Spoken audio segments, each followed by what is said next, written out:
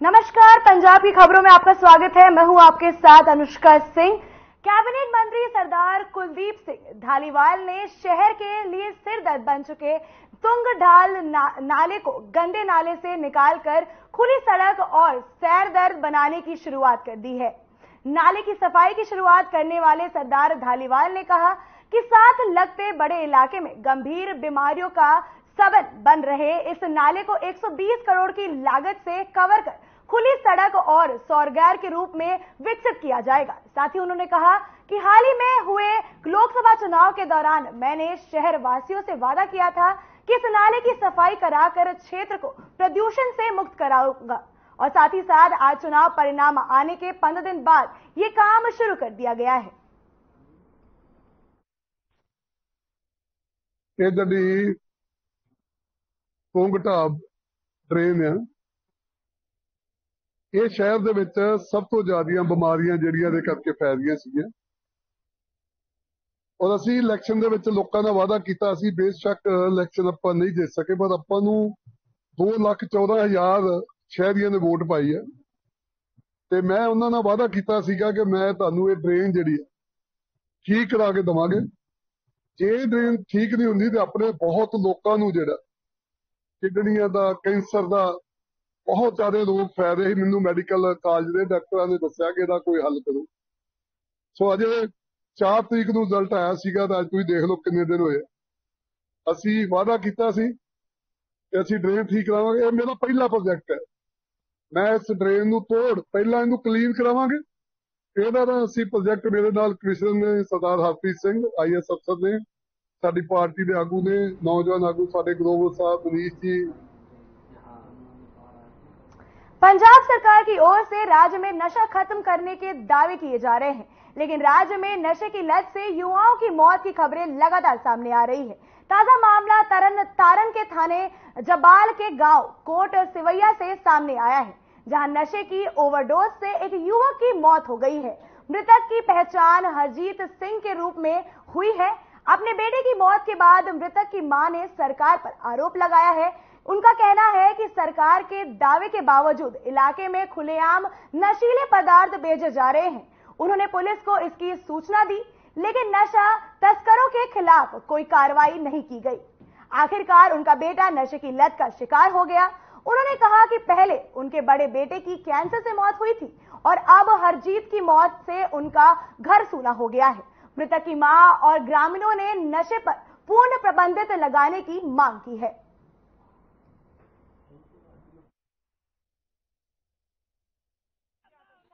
ਕੱਲ 12 ਵਜੇ ਤੱਕ ਘਰੋਂ ਗਿਆ ਕਹਿੰਦਾ ਮੈਂ ਮੇਲਾ ਵੇਖਣ ਚੱਲਿਆ ਪਿੰਡ 'ਚ ਮੇਲਾ। ਕੀ ਨਾਮ ਆ ਤੁਹਾਡੇ ਬੇਟੇ ਦਾ? ਹਰਜੀਤ ਸਿੰਘ। ਅੱਛਾ ਜੀ। ਹਰਜੀਤ ਸਿੰਘ ਮੇਲਾ ਵੇਖਣ ਗਿਆ। ਮੇਰਾ ਪੁੱਤ ਘਰੋਂ ਚੰਗਾ ਭਲਾ ਗਿਆ। ਦੋਧਿਆ ਤੋਂ ਟੀਕਾ ਲਾ ਕੇ ਗਾਂ ਨੂੰ ਗਿਆ ਤੇ। ਨਹਿਰ ਤੇ ਮੇਰਾ ਪੁੱਤ ਮੁੱਕਾ। ਨਹਿਰ ਤੋਂ ਚੁੱਕ ਕੇ ਲਿਆਂਦਾ ਕੱਲ ਦੇ 4 ਵਜੇ ਦੇ ਲੱਭਣ ਡਏ ਸੀ। ਅੱਜ ਕਿਸ ਤਰ੍ਹਾਂ ਪਤਾ ਲੱਗਾ ਤੁਹਾਨੂੰ? ਅੱਜ ਇਸ ਤਰ੍ਹਾਂ ਹੀ ਪਤਾ ਲੱਗਾ ਮੁੰਡੇ ਲੱਭਦੇ ਲੱਭਦੇ ਉੱਥੇ ਗਏ ਆ। ਮੁੰਡਿਆਂ ਨੂੰ ਅੱਛਾ। ਕੋਈ ਫੋਨ ਫਾਨ ਵੀ ਕੀਤਾ ਹੈ ਪਹਿਲਾਂ ਕਦੇ ਠਾਣੇ ਠੁਣੇ ਨਹੀਂ ਸਾਡੇ ਗਏ ਰਾਤੀ।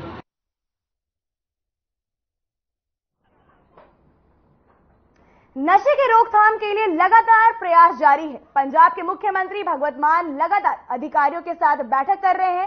इसके बावजूद नशे के कारण दो नौजवानों की मौत हो गई है। तो वहीं दूसरी तरफ़ प्रशासन और पंजाब सरकार की तरफ़ से इस पर कोई एक्शन नहीं लिया गया। मृतकों के परियोजना परिजनों को रो रो मृतकों के परियोजनों को रो रो कर बुरा हाल हो चुका है।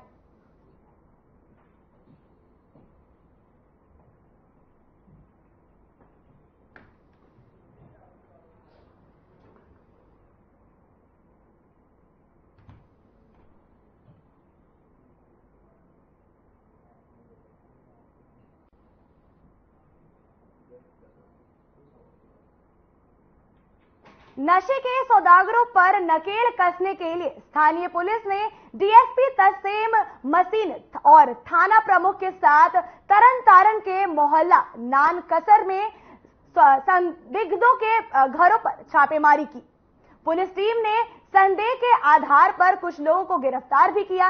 इस बारे में बात करते हुए डीएसपी तस, तस्सेम मसीन ने कहा कि डीजे डीजीपी और डीएसपी अश्विनी कपूर, ने निर्देश के बाद कसाऊ अभियान के तहत नशे के सौदागरों के घरों पर छापेमारी की जारी छापेमारी की जारी रही। और कुछ लोगों को संदेह के आधार पर पकड़ा भी गया। अब नियम अनुसार अब नियम अनुसार आगे की कार्रवाई की जाएगी।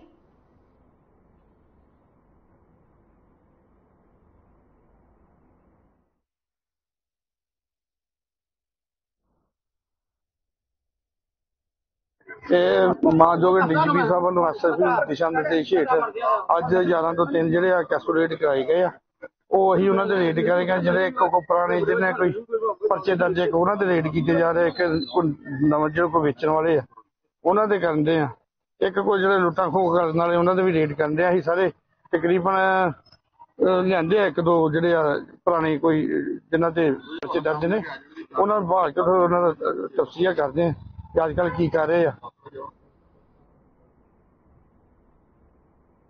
अमृतसर के मजीठा रोड पर शादी में डीजे को लेकर बवाल हो गया विवाद हो गया जिसे सुलझाने के दौरान एक शख्स की पगड़ी उतार दी गई इतना ही नहीं उनकी बेटी और उनकी पिटाई भी की गई इस मामले में पीड़ित ने पुलिस को शिकायत दर्ज कराई और न्याय की मांग भी की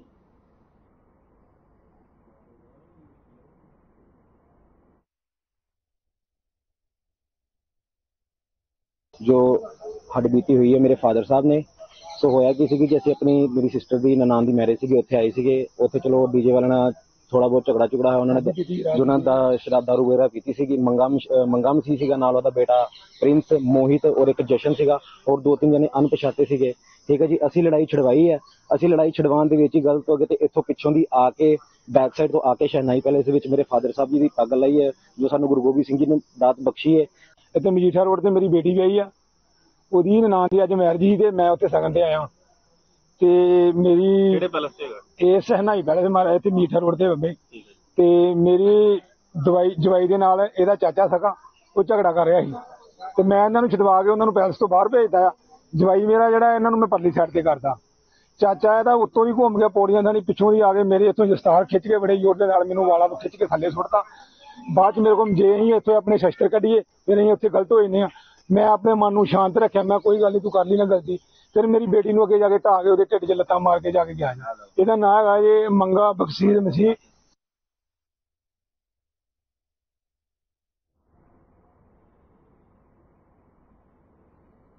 नशे और अवैध शराब के कारोबार को रोकने के लिए एक्साइज विभाग और पंजाब पुलिस लगातार छापेमारी कर रही है इसी क्रम में अमृतसर के अजनाला के अंतर्गत आने वाले गाँव भूटानपुरा में एक्साइज विभाग और पुलिस को सफलता मिली है। बता दें कि दो घरों में छापामारी कर भारी मात्रा में नशीले दवाई और शराब बरामद की गई है। वहीं इस मामले में जानकारी देते हुए एक्साइज विभाग के अधिकारी ने बताया कि उन्होंने अंज अंज नाला के अंतर्गत आने वाले गाँव भूतन, भूतनपुरा में दो घरों में छापामारी की। इस दौरान पुलिस को प्राती सिंह नाम के व्यक्ति के घर से 1700 लीटर शराब और 250 शराब की बोतलें मिली है।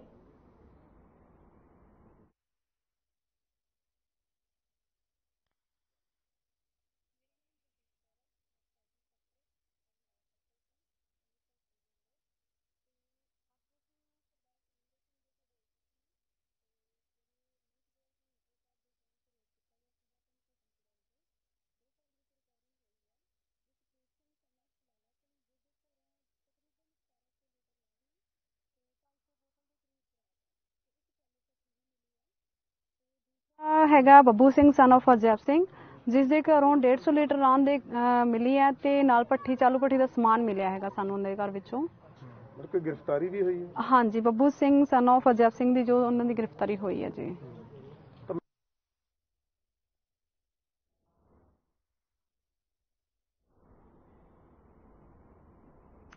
राज्य बिजली संकट से जूझ रहा है इसके बावजूद सरकारी विभागों में बिजली के उपयोग में लापरवाही जारी है पंजाब के मुख्यमंत्री भगवत मान ने लोगों से बिजली का तरकसंत इस्तेमाल करने की अपील कर दी है।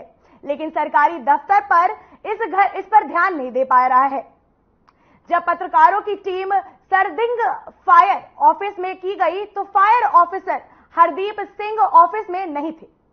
उसका, उनके ऑफ़िस का पंखा और एसी चल रहा था। संपर्क करने पर वो करीब 25 मिनट बाद पहुँचे।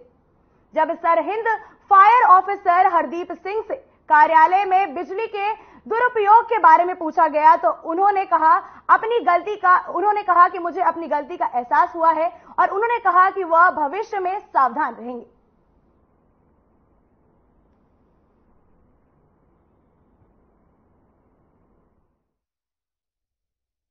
ਇਹ ਜੀ ਪੱਖੇ ਦੇ ਏਸੀ ਦੀ ਚੱਲਣ ਲਈ ਐਮਰਜੈਂਸੀ ਐਮਰਜੈਂਸੀ ਹੋਣ ਕਰਕੇ ਮੁੰਡੇ ਫਾਇਰ ਕਾਲ ਤੇ ਚਲੇ ਗਏ, ਜਿਹਦੇ ਕਰਕੇ ਏਸੀ ਬੰਦ ਕਰਨਾ ਭੁੱਲ ਗਏ ਉਹਦੇ ਲਈ ਅਸੀਂ ਸੌਰੀ ਫੀਲ ਕਰਦੇ ਹਾਂ ਪ੍ਰਸ਼ਾਸਨ ਤੋਂ ਵੀ ਅੱਗੋਂ ਇਹ ਚੀਜ਼ ਨਹੀਂ ਕਰਨੀ ਪਏ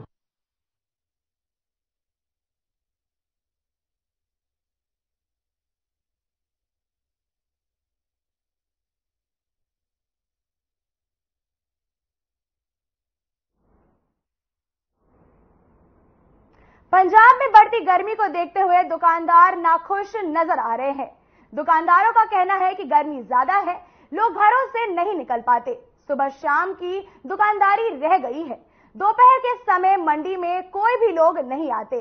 अगर सब्ज़ी की बात करें तो सभी हरी सब्ज़ियाँ महँगी हो गई है। लोग सब्ज़ी खरीदने से पहले सोचते हैं कि आधा किलो से कम काम चल जाएगा। वहीं घर को चलाने वाली गृहिणी का कहना है कि जहाँ हम एक किलो लहसुन लेते थे, अब उसकी जगह पचास ग्राम लहसुन से काम चलाना पड़ता है। किचन का बजट हिल चुका है। वहीं दुकानदारों का भी साफ़ कहना है कि जब सब्ज़ियाँ पीछे से ही महँगी हो जाती हैं तो हमें महँगी पड़ती है।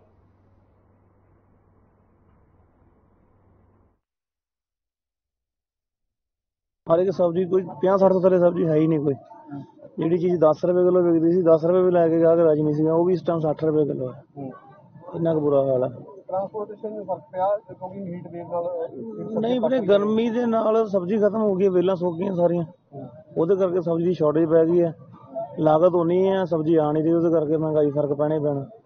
ਉਹਦੇ ਕਰਕੇ ਸਬਜ਼ੀ ਦੇ ਵਿੱਚ ਥੋੜਾ ਰੇਟਾਂ ਦੇ ਵਿੱਚ ਹੋਇਆ। ਲੱਗਦਾ ਵੀ ਰੇਟ ਅੱਗੇ ਵੀ ਵਧਣਗੇ। ਦੇਖੋ ਜੀ ਬਾਰਿਸ਼ਾਂ ਪੈ ਗਈਆਂ ਇੱਕ ਵਾਰੀ ਤਾਂ ਹੋਰ ਰੋਡ ਰੇਟ ਥੋੜੇ ਵਧਣਗੇ।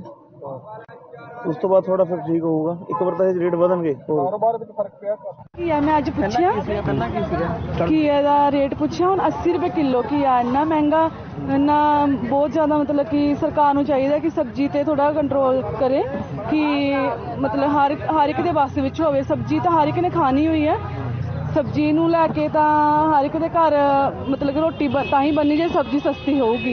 ਇੰਨੀ ਮਹਿੰਗਾਈ ਵਿੱਚ ਸਬਜ਼ੀ ਹੋਈ ਮਹਿੰਗੀ ਹੈ ਤਾਂ ਬਾਕੀ ਚੀਜ਼ਾਂ ਦਾ ਕੀ ਬਣੂਗਾ? ਬੱਚਿਆਂ ਦੀਆਂ ਫੀਸਾਂ ਹਰ ਚੀਜ਼ ਤੇ ਕੰਟਰੋਲ ਹੋਣਾ ਚਾਹੀਦਾ ਸਰਕਾਰ ਦਾ ਗਰਮੀ ਦੇ ਕਾਰਨ ਸਬਜ਼ੀ ਦੇ ਰੇਟ ਵਧ ਰਹੇ ਨੇ। ਨਹੀਂ ਗਰਮੀ ਦੇ ਕਾਰਨ ਨਹੀਂ ਗਰਮੀ ਦੇ ਕਾਰਨ ਤਾਂ ਸਗੋਂ ਜਲਦੀ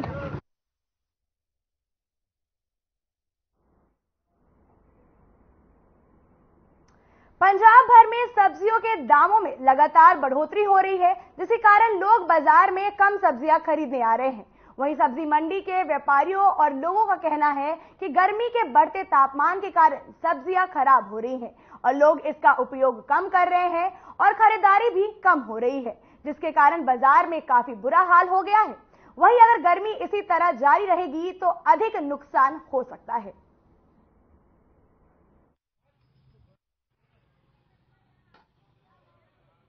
ਸਬਜ਼ੀਆਂ ਦੇ ਵੀਰ ਜੀ ਸਾਰੇ ਰੇਟ ਅਪ ਹੋ ਗਏ। ਗਰਮੀ ਬਹੁਤ ਦਾ ਕਾਰਨ ਆਲੂ ਦਾ ਵੀ ਰੇਟ ਅਪ ਹੈ, ਪਿਆਜ਼ ਦਾ ਵੀ ਰੇਟ ਅਪ ਹੈ, ਪਿੱਛੋਂ ਟਰਾਂਸਪੋਰਟ ਦੀ ਬੜੀ ਪ੍ਰੋਬਲਮ ਆ ਰਹੀ ਹੈ। ਦੇਖੋ, ਮੌਸਮ ਕਰਕੇ ਹਰੇਕ ਬੰਦੇ ਨੂੰ ਹੀ ਪ੍ਰੋਬਲਮ ਆ। ਵੇਚਣ ਵਾਲੇ ਨੂੰ ਵੀ ਪ੍ਰੋਬਲਮ ਹੈ ਖਰੀਦਣ ਵਾਲੇ ਨੂੰ ਵੀ ਪ੍ਰੋਬਲਮ ਸਬਜ਼ੀਆਂ ਖੇਤਾਂ ਦੇ ਵਿੱਚੋਂ ਘਟ ਗਈਆਂ। ਗਰਮੀ ਬਹੁਤ ਜ਼ਿਆਦਾ ਵੱਧ ਗਈ। ਆਲੂ ਹੈ ਕੋਲਡ ਸਟੋਰ ਦਾ ਠੰਡਾ ਬਾਹਰ ਗਰਮੀ ਉਹਦੇ ਕਰਕੇ ਹਰੇਕ ਬੰਦੇ ਨੂੰ ਸਮੱਸਿਆ ਆ ਰਹੀ ਹੈ। ਰੇਟ ਦੇ ਵਿੱਚ ਇਹ ਮੰਨ ਲਓ ਜੀ 50% ਪਲੱਸ ਹੋ ਗਿਆ। ਹਰੇਕ ਚੀਜ਼ ਪਲੱਸ ਹੋ ਗਈ ਕਿਉਂਕਿ ਉਹਦੀ ਪਿੱਛੋਂ ਘਟ ਗਈ ਕੁਆਂਟੀਟੀ ਘਟ ਗਈ ਉਹਦੇ ਕਰਕੇ ਰੇਟ ਪਲੱਸ ਰੇਟ ਦਾ ਬਹੁਤ ਫ਼ਰਕ ਹੈ। ਬਹੁਤ ਮੰਦਾ ਚੱਲਿਆ। ਬਹੁਤ ਜ਼ਿਆਦਾ। ਹੁਣ ਮਾੜਾ ਰੇਟ ਬਣਿਆ। ਨਹੀਂ 50 60 70 ਰੁਪਏ ਰੇਟ 'ਚ ਕੁਝ ਨਹੀਂ ਬਣਿਆ ਹੈਗਾ। ਸਬਜ਼ੀਆਂ ਲੈ ਕੇ ਮੰਡੀ ਦੇ ਵਿੱਚ ਆਉਂਦੇ ਹੋ ਤਾਂ ਕਿੰਨਾ ਕੁ ਫ਼ਰਕ ਪਿਆ ਸਬਜ਼ੀਆਂ ਖਰਾਬ ਖਰਾਬ ਗਰਮੀ ਕਾਰਨ ਵੀ ਹੋਈ ਬਹੁਤ ਜ਼ਿਆਦਾ ਹੋਈ ਹੈ ਜੀ। ਗਰਮੀ ਕਾਰਨ ਬਹੁਤ ਫ਼ਰਕ ਪਿਆ। ਰੇਟ ਨਹੀਂ ਮਿਲਿਆ ਹੈਗਾ ਗਰਮੀ ਕਾਰਨ ਟਮਾਟਰ ਦੂਰ ਨਹੀਂ ਜਾ ਸਕਿਆ ਇਸ ਕਰਕੇ ਮੰਦਾ ਬਹੁਤ ਰਿਹਾ ਤਾਂ ਲੱਗਦਾ ਕਿਤੇ ਨਾ ਕਿਤੇ ਆਮ ਲੋਕਾਂ ਨੂੰ ਆਮ ਲੋਕਾਂ 'ਚ ਫਰਕ ਤਾਂ ਰਹੂਗਾ ਜੀ ਖਰੀਦ ਘੱਟ ਖਰੀਦ ਘਟ ਗਈ ਜੀ। ਆਮ ਜੋ ਪਿੰਡਾਂ ਚੋਂ ਗਾਹਕ ਆਂਦਾ ਹੀ ਲੈਣ ਵਾਲਾ ਉਹ ਆਣੋਂ ਹਟ ਗਿਆ केंद्रीय राज्य मंत्री रवनीत भिट्र ने गृह अ, मंत्री अमित शाह से मुलाकात की उन्होंने अपनी पत्नी के साथ अमित शाह से मुलाकात की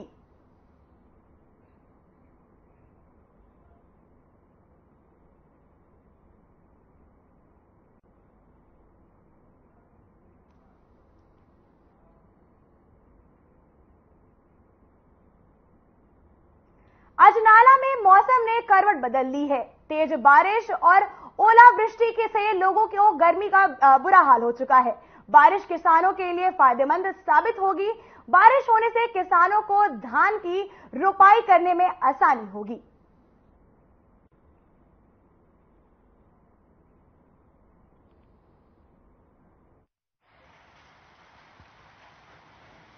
सामने बारिश हो रही है, छियालीस तो सैंतालीस डिग्री टेम्परेचर हो चुका है। ਆਪਾਂ ਉਸ ਮਾਲਕ ਦਾ ਅਕਾ- ਅਕਾਲ ਪੁਰਖ ਦਾ ਧੰਨਵਾਦ ਕਰਦੇ ਹਾਂ ਜਿਨਨੇ ਠੰਡਾ ਮੌਸਮ ਕੀਤਾ ਹੈ ਲੂ ਵਗ ਰਹੀ ਹੋਏ ਹੌਟ ਵੇਵਸ ਚੱਲ ਰਹੀ ਸੀ ਤੇ ਮੈਂ ਲੋਕਾਂ ਨੂੰ ਅਪੀਲ ਕਰਾਂਗਾ ਨਾਲ ਕਿ ਰੁੱਖ ਲਾਓ ਵਾਤਾਵਰਨ ਨੂੰ ਸਾਂਭੀਏ ਇਹ ਸਾਡਾ ਫਰਜ਼ ਬਣਦਾ ਕਿੰਨੀ ਹੈ। ਕੁ ਰਾਹਤ ਮਿਲੇਗੀ ਅੱਜ ਜਿਹੜੀ ਸਰ ਅੱਜ ਬਹੁਤ ਹੈ ਟੈਂਪਰੇਚਰ 30 ਦੇ ਲਾਗੇ ਆ ਗਿਆ ਸਰ 46 47 ਸੀ ਬਾਜ਼ਾਰ ਸੁੰਨੇ ਪਏ ਸੀ ਸਰ ਹੁਣ ਇਹਦੇ ਨਾਲ ਲੋਕਾਂ ਦੇ ਕੰਮਾਂ 'ਚ ਵੀ ਥੋੜਾ ਫ਼ਰਕ ਪਏਗਾ ਬਾਜ਼ਾਰ 'ਚ ਚਹਿਲ ਪਹਿਲ ਹੋਏਗੀ ਲੋਕਾਂ ਦੇ ਕੰਮ ਚੱਲਣਗੇ ਸਰ ਪੰਛੀਆਂ ਤੇ ਕਿੰਨਾ ਅਸਰ ਪਏਗਾ ਸਰ ਬਹੁਤ ਪਏਗਾ ਤੁਹਾਨੂੰ ਜਿੱਦਾਂ ਕਹਿ ਰਿਹਾ ਕਿ ਹੌਟ ਵੇਵ ਚੱਲ ਰਹੀਆਂ ਸੀ। ਮਤਲਬ ਵੀ ਬੰਦੇ ਘਰੋਂ ਨਹੀਂ ਨਿਕਲ ਪਾ ਰਹੇ ਤੇ ਪੰਛੀਆਂ ਦਾ ਉੱਥੇ ਬੜਾ ਬੁਰਾ ਹਾਲ ਹੋ ਰਿਹਾ ਸੀ। ਕੁਦਰਤ ਅੱਜ ਮਿਹਰਬਾਨ ਹੋਈ ਹੈ। ਅੱਜ ਬਰਸਾਤ ਹੋਈ ਹੈ। ਸਾਰਿਆਂ ਦੇ ਚਿਹਰੇ ਖੁਸ਼ੀ ਨਾਲ ਖਿਲ ਗਏ ਆ। ਕਿਉਂਕਿ ਬਹੁਤ ਗਰਮੀ ਭਾਜੀ 47 48 ਡਿਗਰੀ ਟੈਂਪਰੇਚਰ ਔਰ ਬਹੁਤ ਜ਼ਿਆਦਾ ਲੂ ਸੀ ਜਿਹਦੇ ਨਾਲ ਨਾ ਸਾਰੇ ਲੋਕ ਮਤਲਬ ਹੋਸ਼ ਹੋਏ ਪਏ ਸੀ। ਤੇ ਅੱਜ ਕੁਦਰਤ ਨੇ ਹਰ ਚਿਹਰਾ ਖਿਲਾਤਾ ਹੈ, ਕਿਉਂਕਿ ਇਸ ਤੋਂ ਬਿਨਾ ਹਰ ਏਸੀ ਫੇਲ ਹੀ ਹੈ ਕੀ ਸੋ ਬੜੀ ਖੁਸ਼ੀ ਦੀ ਗੱਲ ਹੈ ਕਿ ਅੱਜ ਬਰਸਾਤ ਹੋਈ ਹੈ ਤੇ ਧਰਤੀ ਮਾਂ ਨੂੰ ਠੰਡ ਪਹੁੰਚੀ ਹੈ ਔਰ ਪ੍ਰਮਾਤਮਾ ਕਰੇ ਕਿ 2-4 ਦਿਨ ਲਗਾਤਾਰ ਰੱਜ ਕੇ ਮੀਂਹ ਪਵੇ ਜਿਹੜਾ ਕਿ ਜਿੰਨੀ ਗਰਮੀ ਅੱਜ ਤੱਕ ਪੈ ਚੁੱਕੀ ਹੈ ਜਿੰਨੀ ਧਰਤੀ ਦੇ ਅੰਦਰ ਤਪਸ਼ ਹੈ ਉਹ आम आदमी पार्टी के वरिष्ठ नेता विक्रमजीत पासी ने एक अहम मुद्दे पर संबोधन दिया है आइए आपको सुनाते हैं ਸਾਡੇ ਭਾਜਪਾ ਦੀ ਸਰਕਾਰ ਨੌਜਵਾਨ ਟੈਲੈਂਟਡ ਵਿਦਿਆਰਥੀਆਂ ਦੇ ਭਵਿੱਖ ਨਾਲ ਵੀ ਕਰ ਰਹੀ ਹੈ ਖਿਲਵਾੜ। ਆਪਾਂ ਪਿਛਲੇ ਕਈ ਦਿਨਾਂ ਤੋਂ ਦੇਖ ਰਹੇ ਹਾਂ ਕਿ ਨੀਟ ਦਾ ਜੋ ਕੁਝ ਹੋਇਆ, ਨੀਟ ਦਾ ਜਦੋਂ ਰਿਜ਼ਲਟ ਆਇਆ, ਕਿੱਦਾਂ ਰਿਜ਼ਲਟ ਆਇਆ, ਕੀ ਕੁਝ ਹੋਇਆ, ਉਹ ਬਹੁਤ ਵੱਡੇ ਪ੍ਰਸ਼ਨ ਚਿੰਨ੍ਹ ਲਗਾ ਰਿਹਾ। ਉਹਨੂੰ ਬੇਨੀਮੀਆਂ ਕਹਿ ਕੇ ਟਾਲਣ ਦੀ ਕੋਸ਼ਿਸ਼ ਨਹੀਂ ਕੀਤੀ ਜਾ ਸਕਦੀ ਕਿਉਂਕਿ ਇਹਦੇ ਪਿੱਛੇ ਜੋ ਨਜ਼ਰ ਆ ਰਿਹਾ ਹੈ, ਉਹ ਬਹੁਤ ਵੱਡਾ ਘੁਟਾਲਾ ਵੀ ਨਜ਼ਰ ਆ ਰਿਹਾ। ਤੁਹਾਡੇ ਯਾਦ ਹੋਏਗਾ ਕਿ 5 ਮਈ ਨੂੰ ਨੀਟ ਦਾ ਐਗਜ਼ਾਮ ਹੋਇਆ। ਸਟੂਡੈਂਟਸ ਆਪਣੇ ਨੇੜੇ ਦੇ ਸੈਂਟਰਸ ਵਿੱਚ ਅਪਲਾਈ ਕਰਦੇ ਆ। ਸਟੂਡੈਂਟਸ 18 18 16 16 ਘੰਟੇ ਮਿਹਨਤ ਕਰਦੇ ਆ। ਉਹਨਾਂ ਦੇ ਮਾਪੇ ਆਪਣੀ ਮਿਹਨਤ ਦੀ ਕਮਾਈ, ਆਪਣਾ ਪੇਟ ਕੱਟ ਕੇ ਉਹ ਚਾਹੁੰਦੇ ਆ ਕਿ ਸਾਡੇ ਬੱਚਿਆਂ ਦਾ ਭਵਿੱਖ ਬਣੇ। 5 ਮਈ ਨੂੰ ਪੇਪਰ ਤਾਂ ਹੁੰਦਾ ਲੇਕਿਨ ਉਸ ਤੋਂ ਬਾਅਦ ਅਸੀਂ ਦੇਖਿਆ ਬਿਹਾਰ ਦੇ ਵਿੱਚ ਪੇਪਰ ਲੀਕ ਦੀ ਗੱਲ ਸਾਹਮਣੇ ਆਂਦੀ ਹੈ। 13 ਦੇ ਕਰੀਬ ਗ੍ਰਿਫਤਾਰੀਆਂ ਹੁੰਦੀਆਂ ਉਸ ਤੋਂ ਬਾਅਦ ਗੁਜਰਾਤ ਦੇ ਵਿੱਚ ਗ੍ਰਿਫਤਾਰੀਆਂ ਹੁੰਦੀਆਂ ਪੇਪਰ ਲੀਕ ਦੀ ਗੱਲ ਸਾਹਮਣੇ ਆਂਦੀ ਹੈ। ਤੇ ਜਿਹੜਾ ਰਿਜ਼ਲਟ ਆਉਣਾ ਸੀ ਕ੍ਰੋਨੋਲੋਜੀ ਸਮਝਣ ਦੀ ਲੋੜ ਹੈ। ਜਿਹੜਾ ਰਿਜ਼ਲਟ ਆਉਣਾ ਸੀ, ਉਹ 14 ਜੂਨ ਆਣਾ ਸੀਗਾ 14 ਜੂਨ ਨੂੰ। 4 ਜੂਨ ਨੂੰ ਰਿਜ਼ਲਟ ਆਣਾ ਸੀ ਪਾਰਲੀਮੈਂਟ ਇਲੈਕਸ਼ਨਸ ਦਾ। ਲੇਕਿਨ 10 ਦਿਨ ਪਹਿਲਾਂ ਹੀ ਐਨਟੀਏ ਵੱਲੋਂ ਰਿਜ਼ਲਟ ਜਾਰੀ ਕਰ ਦਿੱਤਾ ਜਾਂਦਾ ਹੈ। ਇਲੈਕਸ਼ਨ ਦੇ ਰਿਜ਼ਲਟ ਦੇ ਜ਼ੋਰ ਦੇ ਵਿੱਚ, ਸ਼ੋਰ ਦੇ ਵਿੱਚ ਕੀ ਕਾਰਨ ਸੀ? ਉੱਥੇ ਵੀ ਕੰਨ ਖੜੇ ਹੋ ਗਏ। ਉੱਥੇ ਵੀ ਜੋ ਐਕਸਪਰਟਸ ਹੈ, ਉਹ ਸੋਚਣ ਲੱਗੇ ਕਿ 10 ਦਿਨ ਪਹਿਲਾਂ ਅੱਜ ਹੀ ਕਿਉਂ? ਜਦੋਂ ਪੂਰਾ ਮੀਡੀਆ, ਪੂਰਾ ਦੇਸ਼ ਪਾਰਲੀਮੈਂਟ ਦੇ ਇਲੈਕਸ਼ਨ ਦੇ ਰਿਜ਼ਲਟ ਸੁਣਨ ਲਈ ਬਿਜ਼ੀ ਹੈ, ਅੱਜ ਹੀ ਜਿਹੜਾ ਹੈ ਐਨਟੀਏ ਨੀਟ ਦਾ ਰਿਜ਼ਲਟ ਕਿਉਂ ਕੱਢ ਰਿਹਾ ਹੈ? ਤੇ ਜਦੋਂ ਰਿਜ਼ਲਟ ਸਾਹਮਣੇ ਆਂਦਾ ਹੈ ਤੇ ਬੜੀ ਹੈਰਾਨਗੀ ਹੁੰਦੀ ਹੈ ਕਿ 67 ਬੱਚੇ 720 ਚੋਂ 720 ਨੰਬਰ ਲੈਂਦੇ ਆ।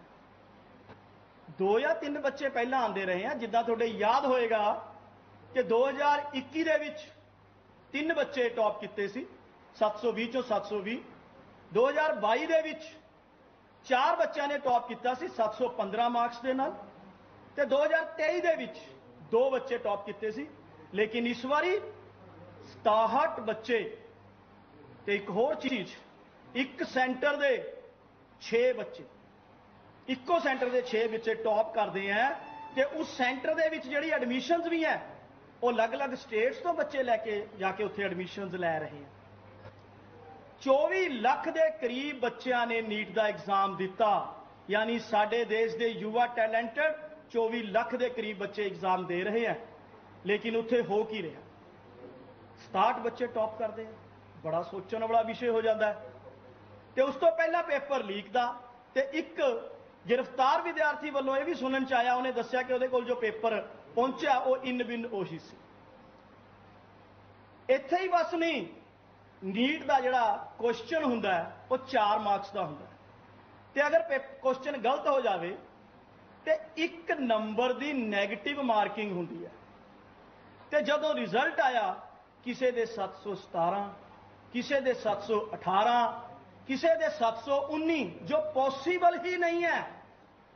ਕਿਉਂਕਿ ਅਗਰ 4 ਨੰਬਰ ਦਾ ਇੱਕ ਕੁਐਸਚਨ ਹੈ ਤੇ ਇੱਕ ਨੰਬਰ ਦੀ 네ਗੇਟਿਵ ਮਾਰਕਿੰਗ ਹੈ, ਇੱਕ ਕੁਐਸਚਨ ਗਲਤ ਹੋਇਆ ਤਾਂ 715 ਰਹਿ ਸਕਦੇ ਆ ਦੋ ਕੁਐਸਚਨ ਗਲਤ ਹੋਏ ਤੇ 710 ਹੋ ਸਕਦੇ ਆ ਤਿੰਨ ਕੁਐਸਚਨ ਗਲਤ ਹੋਏ ਤੇ 705 ਹੋ ਸਕਦੇ ਆ ਚਾਰ ਕੁਐਸਚਨ ਗਲਤ ਹੋਏ ਤੇ 700 ਨੰਬਰ ਹੋ ਸਕਦੇ ਆ 717 718 719 ਇਹ ਤਾਂ ਪੋਸੀਬਲ ਹੀ ਨਹੀਂ।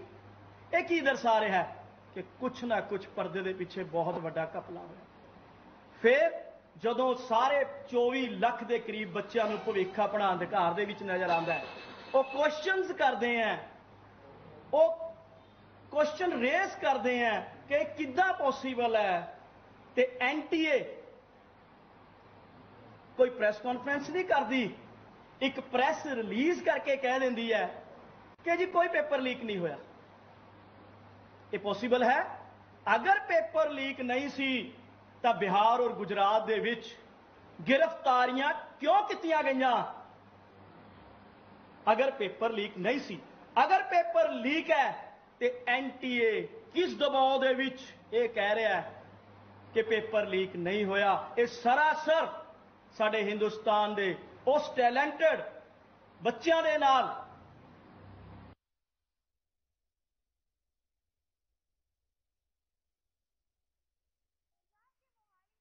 महिला की बेरहमी से गला रेत कर हत्या कर दी गई है पुलिस ने मौके पर पहुंचकर जांच शुरू कर दी है हालांकि ये पहला मामला नहीं है इससे पहले भी मोहाली में एक युवक ने एक लड़की पर तलवार से हमला कर दिया था हमले में लड़की बुरी तरह घायल हो गई मौजूद लोगों ने पुलिस को सूचना दी पुलिस ने बच्ची को फोन फेज सिक्स के सिविल अस्पताल में भर्ती कराया जहां उसकी मौत हो गई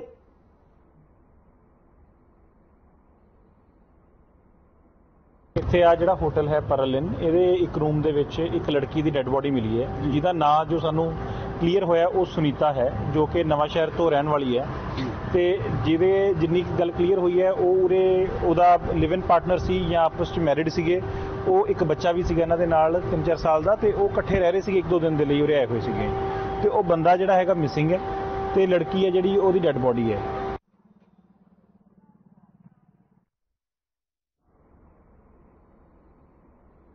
नशे और अवैध शराब के कारोबार को रोकने के लिए एक्साइज विभाग और पंजाब पुलिस लगातार छापेमारी कर रही है। इसी क्रम में अमृतसर के अन नाला अंज नाला के अंतर्गत आने वाले गाँव भूटानपुरा में एक्साइज विभाग और पुलिस को सफलता मिली है। बता दें कि दो घरों में छापामारी कर भारी मात्रा में नशीले दवाई और शराब बरामद की गई है।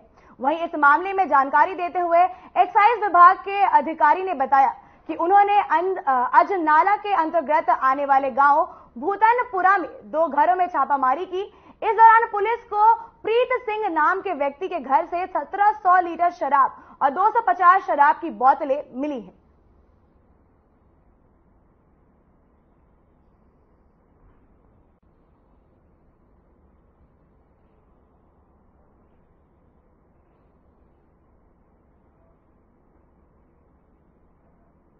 इस बुलेटिन में फ़िलहाल इतना ही धन्यवाद।